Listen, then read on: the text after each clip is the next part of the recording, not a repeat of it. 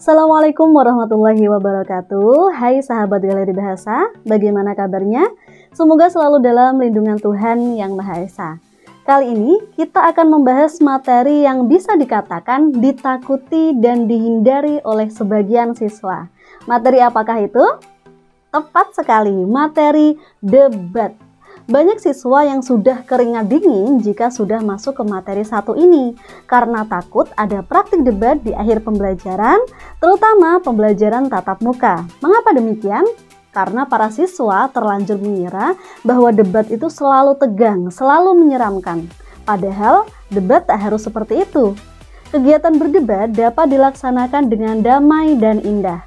Nah, kali ini kita akan kenalan lebih jauh lagi apa dan bagaimana sih debat itu? Untuk itu, simak video ini sampai selesai. Jangan lupa untuk mencatat dan membuat peta konsep.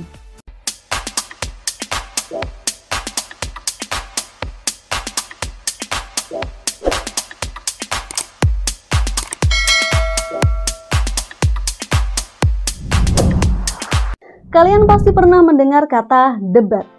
Bahkan kalian pasti sudah pernah menyaksikan debat secara langsung maupun tidak langsung. Debat calon presiden, debat calon ketua OSIS, atau bahkan mungkin ada yang pernah ikut lomba debat. Sebenarnya apa sih debat itu?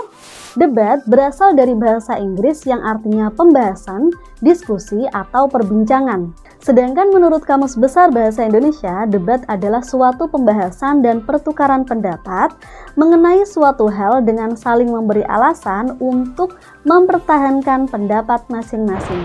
Jika mengacu dari definisi tersebut, berarti disadari maupun tidak, kita pasti pernah ya melakukan hal ini di kehidupan sehari-hari. Mengapa? Karena pasti selalu ada perbedaan isi pikiran antara satu orang dengan orang lainnya. Gak usah jauh-jauh cari musuh debat, dengan sahabat kita saja bisa jadi kita sering melakukan debat. Wah, berarti materi debat ini seharusnya tidak seseram di awal ya, karena ternyata kita sudah sering melakukannya walaupun secara tidak sadar. Kemudian apa sih tujuan berdebat? Ada beberapa tujuan mengapa kita melakukan debat. Yang pertama, untuk memenangkan argumentasi diri atas orang lain. Dalam kegiatan debat, kita menunjukkan kelebihan atau kebenaran argumentasi kita. Semakin logis argumentasi kita, maka ide atau gagasan yang kita tawarkan dapat lebih dipertimbangkan. Dan kedua, dalam debat kita bisa menanggapi suatu persoalan dengan sudut pandang yang berbeda. Bisa jadi debat tersebut mampu mengantarkan kita maupun lawan debat kita pada pemahaman yang lebih baik lagi. Dan bukan tidak mungkin dengan berdebat kita bisa menyelesaikan suatu masalah. Dari tujuan debat tersebut, dapat dipahami bahwa debat bukanlah arena saling menjatuhkan pihak lawan, melainkan usaha untuk meyakinkan, usaha untuk mempengaruhi orang lain untuk menyetujui pendapat yang kita sampaikan. Debat memiliki beberapa karakteristik utama, antara lain: yang pertama, melibatkan minimal dua pihak, yang kedua, berbentuk komunikasi langsung atau tatap muka. Yang ketiga, menyangkut suatu tema atau permasalahan yang mengandung konflik, pertentangan, maupun perselisihan. Yang keempat, menyelesaikan permasalahan tersebut melalui adu argumentasi dengan saling meyakinkan yang disertai dengan sejumlah alasan dan fakta. Dan yang kelima, berujung pada dua hal, ada kesepahaman maupun ketidaksepahaman. Nah, ternyata tidak harus ada kesepakatan atau pendapat yang sama di akhir debat. Boleh saja orang yang melakukan debat tetap pada pendapat mereka semula. Artinya, tidak akan didapatkan titik temu di akhir debat. Hal itulah yang membedakan debat dengan diskusi yang harus mendapatkan kata sepakat. Karena tidak selalu memunculkan kata sepakat di akhir, kegiatan debat ini sering dianggap menegangkan, kaku, bahkan rusuh. Untuk menghindari debat semacam itu, kita perlu menerapkan beberapa etika dalam berdebat. Etika tersebut antara lain, yang pertama, bertanyalah dengan serius, hindari guyonan maupun lelucon ketika bertanya pada lawan debat, terlebih jika debat formal. Yang kedua, jangan sekali-kali menyinggung fisik lawan debat. Fokus ke argumen lawan karena inti dari debat adalah adu argumen. Yang ketiga, utamakan data dan fakta. Poin ini sangat penting sekali karena untuk dapat mematahkan argumentasi lawan debat, kita harus mengadu argumentasinya dengan data dan fakta. Jadi, jauh sebelum kegiatan debat dimulai, kita perlu memperluas pengetahuan kita tentang topik debat Jangan sampai kita mengadu ide atau gagasan lawan debat kita dengan informasi-informasi yang belum jelas kebenarannya. Yang keempat, hindari menyinggung pembahasan tentang suku, ras, maupun agama jika topik debat memang tidak membicarakan masalah tersebut. Dan yang kelima, ikuti aturan main yang sudah ditentukan. Setiap pelaksanaan debat pasti terdapat aturan main yang telah ditetapkan oleh penyelenggaranya, mulai dari batas bicara, aturan menyanggah lawan debat, hingga tata cara bertanya. Inti dari kegiatan berdebat ialah bertukar pendapat dan mempertahankan pendapat masing-masing dengan alasan yang jelas dan logis. Dengan berdebat secara sehat, kita bisa mendapatkan wawasan baru dari sudut pandang lawan debat. Saat berdebat, kemampuan kita dalam merespon suatu masalah akan diuji. Melatih keberanian dalam mengemukakan pendapat maupun menanggapi argumentasi lawan debat adalah hal mutlak yang harus dilakukan agar debat kita dapat berjalan dengan lancar. Selanjutnya, apa saja ya unsur-unsur yang harus ada dalam debat? Kegiatan debat, khususnya debat formal, artinya debat yang direncanakan dan dijadwalkan, memiliki beberapa unsur, antara lain yang pertama, mosi. Mosi adalah pernyataan atau penentuan tentang suatu topik yang menjadi bahan debat. Singkat kata, mosi adalah topik debat. Mosi dapat disampaikan sebelum maupun pada saat debat berlangsung.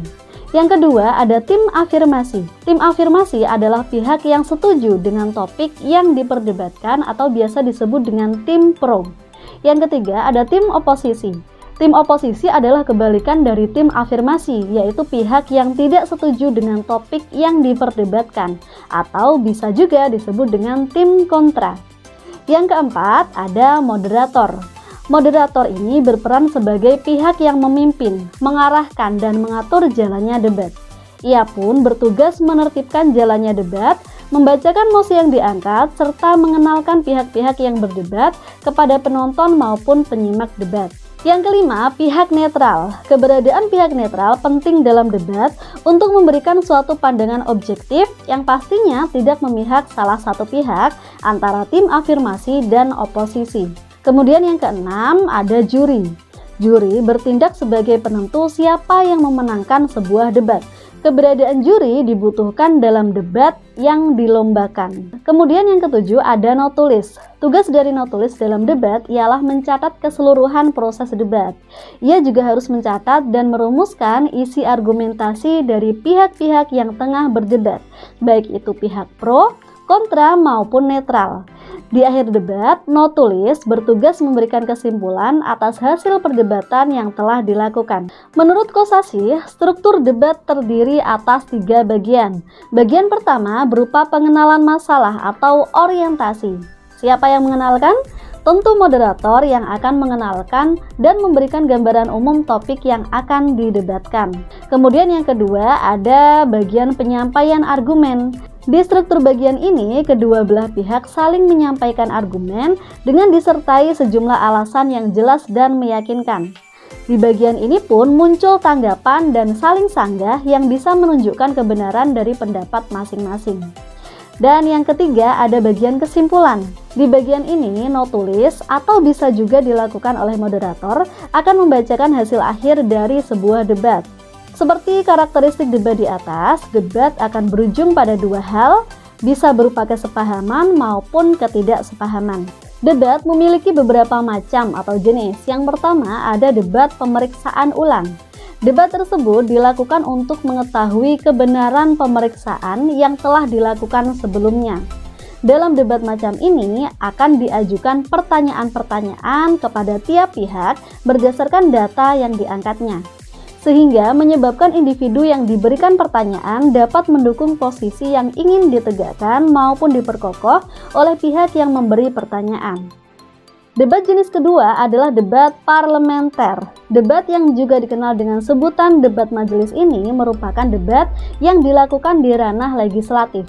Fungsi dari debat parlementer adalah untuk memberikan maupun menambah dukungan pada suatu undang-undang tertentu. Dalam debat ini, seluruh anggota legislatif berhak mengajukan pendapat atau ide gagasannya, baik mendukung atau menentang usul yang telah disampaikan. Dan jenis ketiga adalah debat pendidikan. Debat ini dikenal juga dengan sebutan debat konvensional. Debat ini dilakukan dalam bentuk permainan yang biasa dilakukan di tingkat sekolah maupun universitas.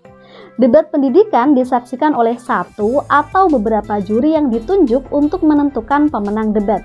Debat ini tidak bertujuan menghasilkan keputusan, namun lebih diarahkan untuk mengembangkan kemampuan menyampaikan pendapat secara logis, jelas, dan terstruktur. Demikian materi debat kita kali ini, semoga bermanfaat. Tetap sehat, tetap semangat. Wassalamualaikum warahmatullahi wabarakatuh.